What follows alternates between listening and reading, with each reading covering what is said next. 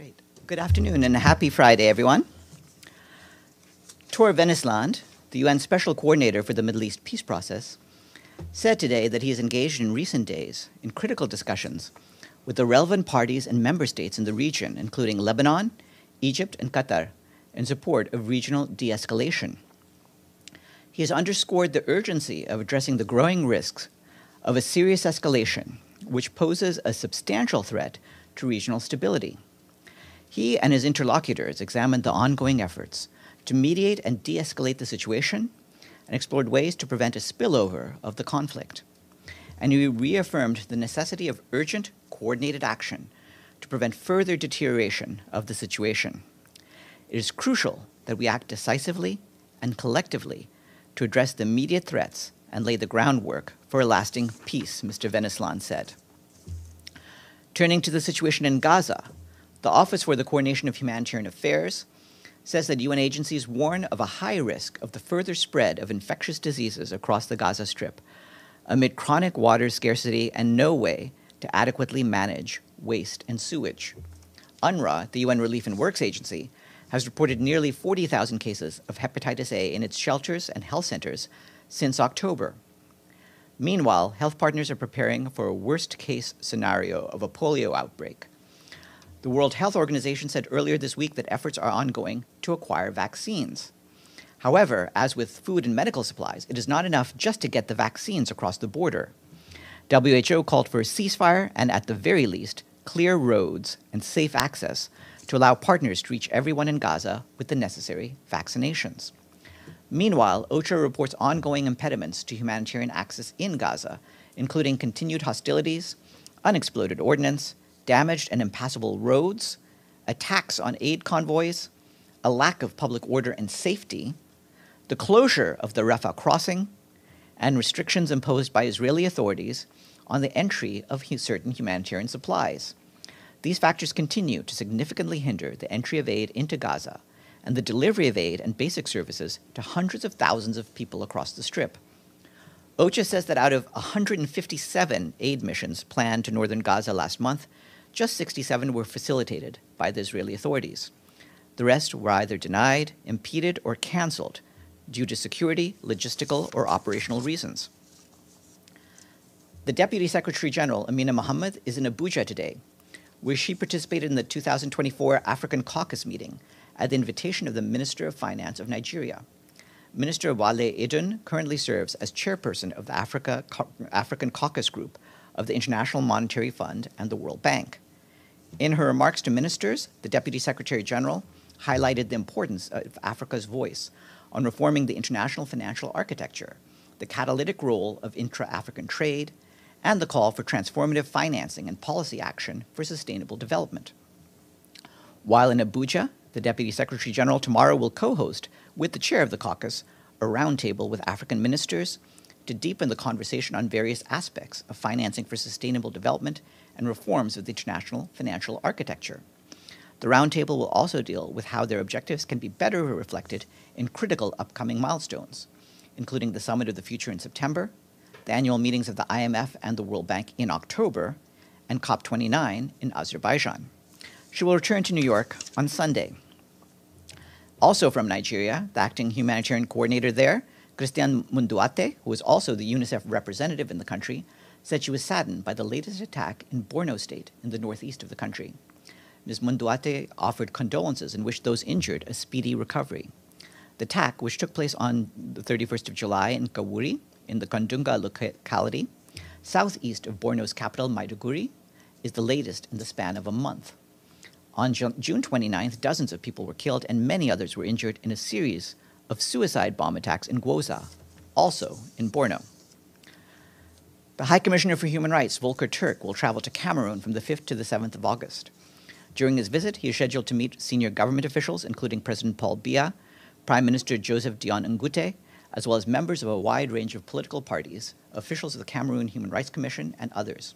He will also inaugurate new premises for our human rights colleagues' Central African Regional Office in the capital, Yaoundé. This is the first visit by, the High, by High Commissioner Turk to Cameroon. In a statement released today, the humanitarian coordinator in Sudan, Clementine Nkweta Salami, stressed that to stop a large scale famine from taking hold in the country, donors must urgently scale up their financial support while using diplomacy to push for opening humanitarian access. She said the humanitarian community in Sudan has been scaling up the response in recent months, but the needs are immense and there isn't a moment to waste. Now, more than half of Sudan's population, some 25.6 million people, is facing acute hunger. Ms. Nkweta Salami called for the silencing of the guns to enable safe and unimpeded humanitarian access across borders and battle lines, as well as an urgent injection of funding for aid operations. As of today, this year's $2.7 billion humanitarian response plan for Sudan is less than a third funded, with $872 million received. Turning to South Sudan, our peacekeeping mission, UNMISS, has expressed concern about rising abductions in the greater Yei region of central Equatoria state, allegedly carried out by armed elements. Last month, the mission received reports on 12 such cases, affecting 134 individuals, six of whom are children. In a statement issued by the mission today, Nicholas Haysom, the head of UNMISS, has called for the immediate and unconditional release of those in captivity. Mr. Haysom further stressed the devastating impact of such incidents on communities as well as on the overall peace and security, urging all stakeholders, including the government, to bring perpetrators to justice swiftly. Turning to Zimbabwe, where our UN colleagues are calling for international support to help the country address the humanitarian impacts of El Nino. Currently, 7.6 million people are at risk of acute hunger following a historic drought induced by El Nino, which has led to the destruction of more than half of the harvest. Our colleagues say that shifted rainfall patterns and long dry spells during the planting season have left large parts of the region with insufficient rainfall and above average temperatures. The drought has deeply hurt Zimbabwe's economy, forcing the government to reduce growth projections. The country is also facing critical water shortages, and more than 22% of school aged children are out of school because of the economic and social impacts of the drought. We and our partners are supporting the government's efforts to assist affected communities and families and build long term resilience. The UN Office for the Coordination of Humanitarian Affairs is supporting humanitarian response coordination efforts.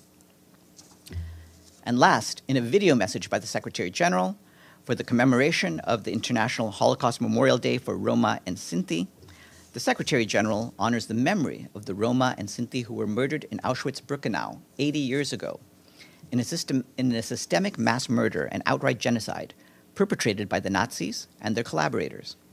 The Secretary General calls on all to stand together to fight bigotry whenever and wherever it appears, and to build a world in which all people live in dignity, peace, and freedom. That's it for me. Yes, Deji?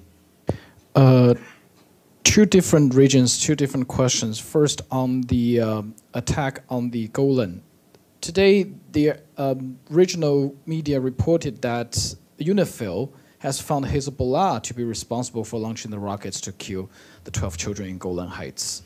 Yet, there's a contradictory report saying that the spokesperson of UNIFIL, Andrea Tenenti, said that UNIFIL is not, quote, in the position to attribute the responsibility of the tragic incident in Majdal Shams. What's going on there? Uh, what's going on is what uh, my colleague Andre Tenenti said is exactly right. UNIFIL's mandate, as you're aware, involves uh, southern Lebanon. Majdal Shams is not in Lebanon and is not part of UNIFIL's mandate, and it has not carried out an investigation. So there's no investigation, so which means that report is false. Is that correct? Uh, we, we, deny the report. UNIFIL, uh, like I said, uh, carries out its activities in Lebanon itself. Okay. The second region, Venezuela. Uh, U.S. recognized opposition candidate as the winner of the election. Uh, what what does the Secretary General have to say on the on the uh, latest development? Well, we, we don't have a comment uh, about um, about decisions made bilaterally by other countries.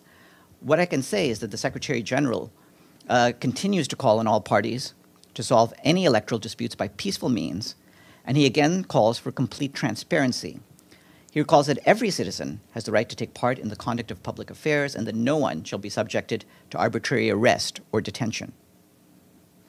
Uh, are there any other questions?